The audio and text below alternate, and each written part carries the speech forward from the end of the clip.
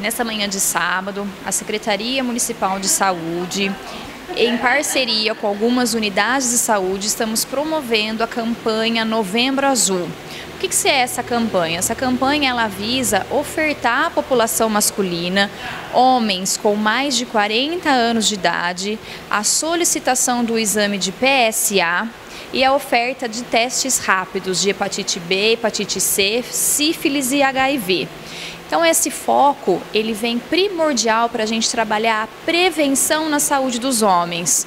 Os homens precisam se cuidar, eles precisam procurar as unidades de saúde para prevenir doenças e principalmente o câncer de próstata, o câncer que hoje mais mata os homens mundialmente. Então essa importância de termos essas ações não somente no sábado, mas como todos os dias em que as unidades de saúde estão estão abertas de segunda a sexta-feira, das 7 às 17, durante todo o mês de novembro, e estamos realizando essas ações.